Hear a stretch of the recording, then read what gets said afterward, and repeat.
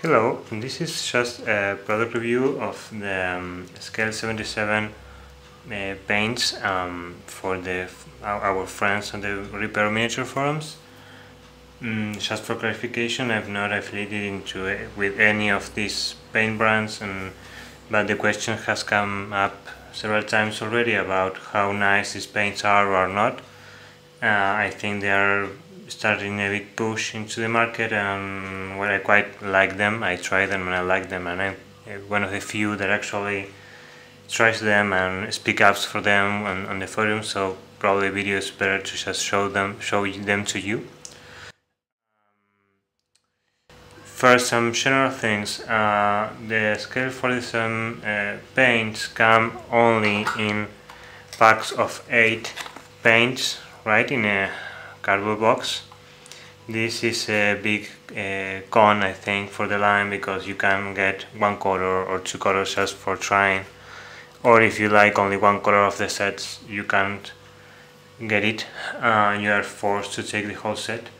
The sets are thematic however uh, um, so they are and they are quite nicely grouped I think so if you are interested in doing, for example, non-metal non-metal metals for steel or gold, or you want a nice range of greens or blues, uh, this could work out for you. As far as the, the paints themselves, the paints are come in 77 millimeter, 17 so, sorry millimeter pots, very like uh, the other two brands I'm going to be comparing with, like uh, Vallejo model color paints, right? That come also in 17 millimeters pots, and it's very similar to the dropper bottle uh, Reaper Master Series paint cam. You know, Reaper Master Series paint uh, cam. I think they're a little bit less paint. It's quite visible there, but the general shape, diameter, and all that is the same. So they will fit whenever you can fit a Vallejo or a Reaper if you have paint organizer.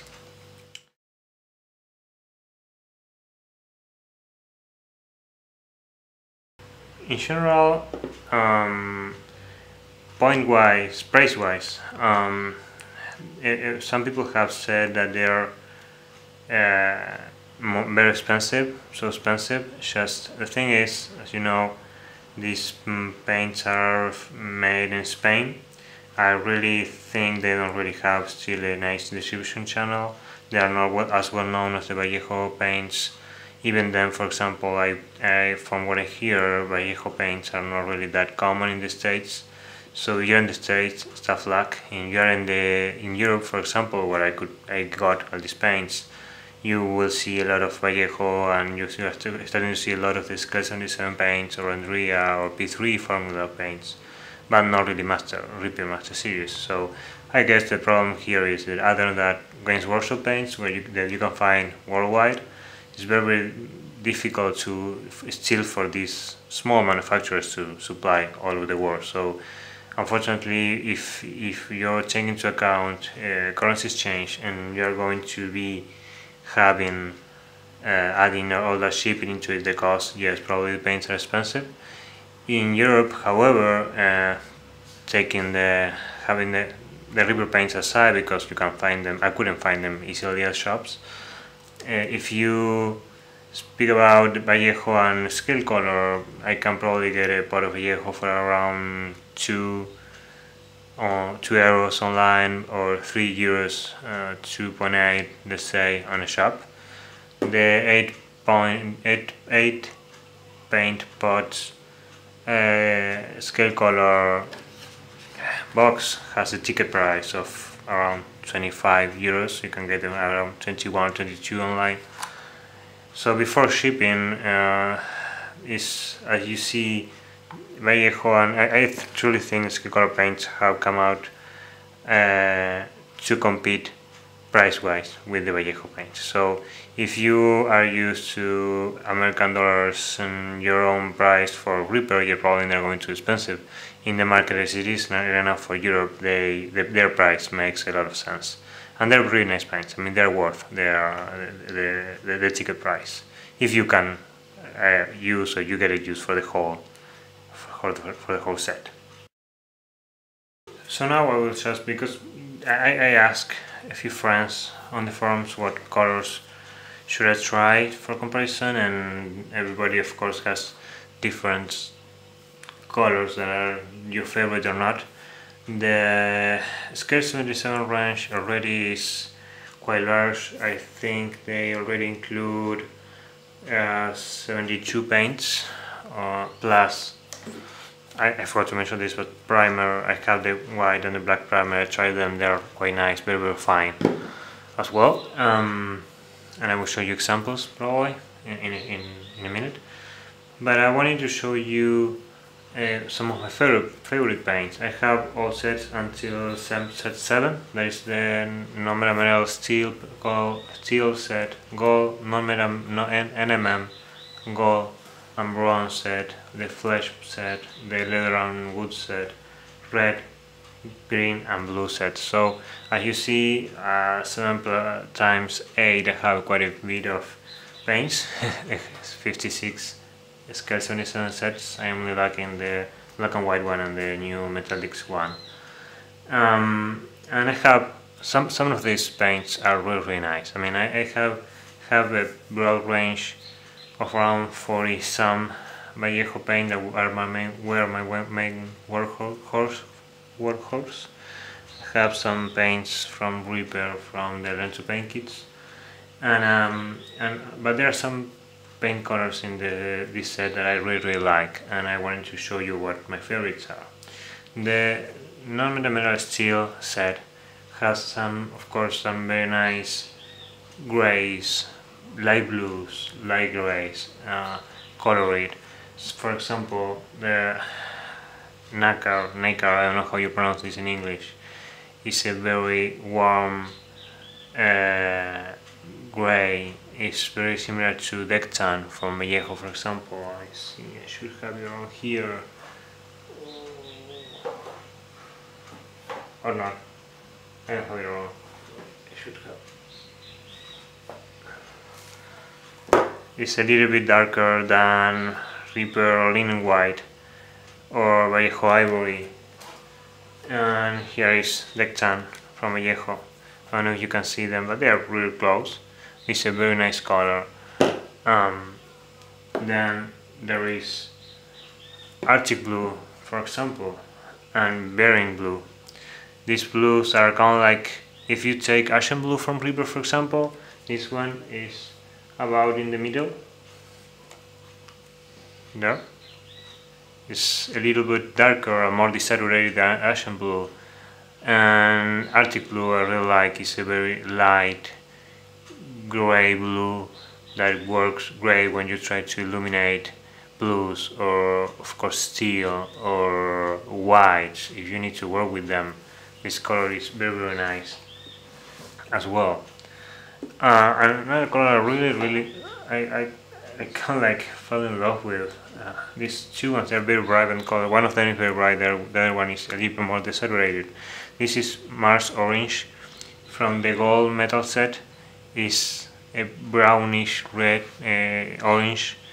Is this works wonderfully for tinting faces. When we say you need to tint it a little bit reddish to simulate blood vessels on the on, on the cheeks this works great.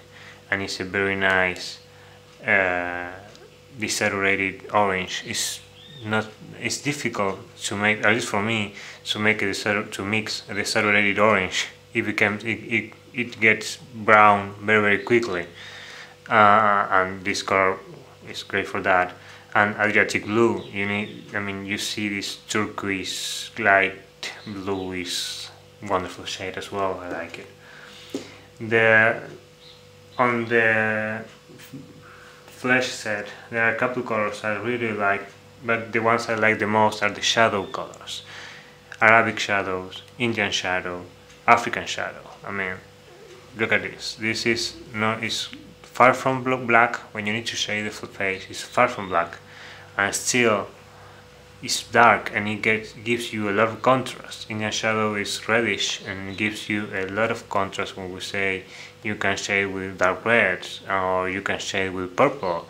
Indian shadow is like a more reddish shadow purple and African shadow is a more purple, dark color, and uh, it works great. Arabic Shadow is a great color all around for kind of like a dark, desaturated ochre color, and it's very, very nice as well.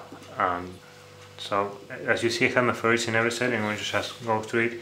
So the on the um, on the leather and and and good sets, they're very nice colors as well. This is sandalwood. It's kind of like a pinkish, desaturated pink.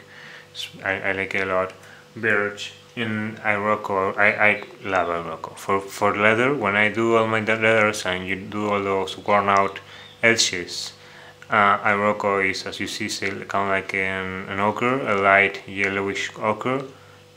Very, very nice, because also these paints in general dry very, very matte. They don't shine at all. Shine at all.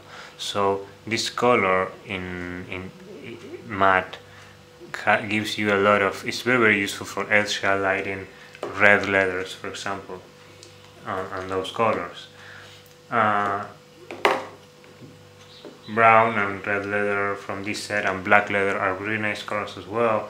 The red, if you love the reds, the red set is gorgeous. Uh, has vibrant reds like Antares red, has deep purples like sunset purple, it has desaturated reds like deep red, uh, a bright yellow that I'm going to use for the demonstration. It has another orange that is darker than the other one, but it's also quite desaturated. There is Kalahari orange. Why? Because, well, you can mix bright oranges with Antares red and some yellow probably. So you really don't need that one as much.